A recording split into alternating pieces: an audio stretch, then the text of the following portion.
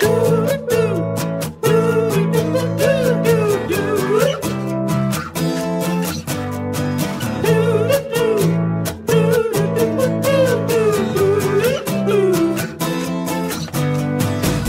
little walk, small talk, big thoughts.